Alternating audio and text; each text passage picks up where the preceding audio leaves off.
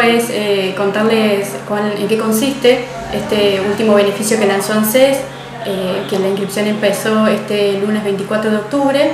Eh, la, condición o el requisito que tiene este beneficio puntualmente es para las situaciones sociales de las personas de extrema vulnerabilidad social.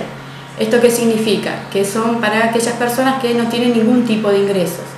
el requisito, uno de los requisitos es para las personas que tienen entre 18 a 64 años. Y el otro requisito fundamental es que no tienen que tener em, ingresos económicos que, que, pertenezcan digamos, a los beneficios de ANSES. ¿Esto qué es? Asignación universal por hijo, em, el fondo de desempleo que saben cobrar las personas también, la tarjeta alimentar, la asignación por embarazo, es decir, pensiones, jubilaciones, todos aquellos beneficios que dependan em, del organismo de ANSES. ¿Y cómo es el sistema de la inscripción? Aquellos que quieran acceder, ¿cómo tienen que hacer? Cuando se lanza el beneficio, ANSES em, dice que este, la forma de acceder a este beneficio es a través de las oficinas de ANSES, es decir, sin turno presencial, la gente va y se anota. Para las localidades pequeñas, como es el caso de San Carlos Sur, las comunas cuentan con el área social, que en este caso sería en, en, esta oficina, para que la gente pueda acceder a tener información, el asesoramiento y para inscribirse también. ¿En qué días y horarios te pueden encontrar acá en la oficina aquellos que quieran consultar? Eh, acá en la oficina de San Carlos Sur estoy todos los días miércoles de 8 a 12.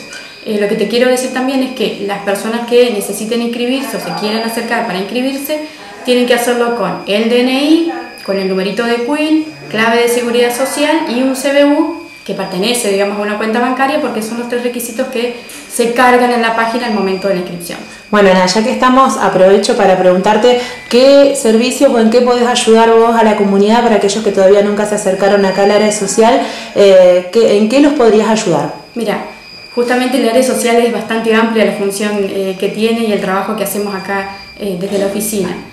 puntualmente para los trámites de ANSES, sobre todo cuando ANSES lanza programas o beneficios, la gente viene acá a consultar o puede venir a consultar sobre requisitos y demás, como hicimos con este último y después asesoramiento y gestión para las pensiones no contributivas, que eso ya no se hace más acá en las comunas, sino que se deriva a la parte de salud para que la gente, las personas pueda acceder al beneficio pensional. Después también en cuanto a jubilaciones también se brinda asesoramiento, en caso de corresponder se sacan los turnos en ANSES para que la gente pueda acudir, porque ese es un turno presencial también que corresponde para el titular.